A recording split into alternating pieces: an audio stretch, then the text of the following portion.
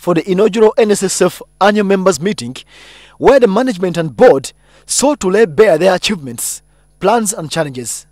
First, the money, with the fund now holding 3.1 trillion shillings.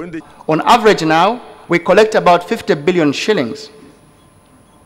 Not only that, because of the turnaround time and the improvement in processes, we are able to turn around the benefits, which you can see has also increased. It's not by accident that there's been an exponential growth. It's because it's much easier for our members now to pick their money from us when it's due to them, without any excuses. We do that in a record time of 18 days. We're not happy with that. Our target is to about five days. Second, the stalled real estate projects, which the NSSF management says are slowed down by procurement procedures. The good news is that we now have an arrangement we've agreed with the PPDA to be able to outsource all our procurements to a third-party provider.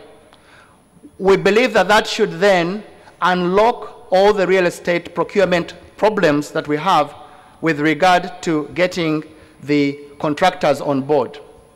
That will apply to pension towers, that will apply to Temangalo, and that will apply to the Lubowa housing estate.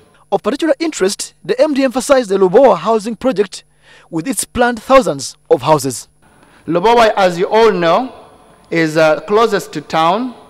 We believe that with the investment we are about to put in there will change the entire structure and uh, city of Kampala. The development is going to have 3,000 houses, and we expect those houses to cater for the high and the middle income uh,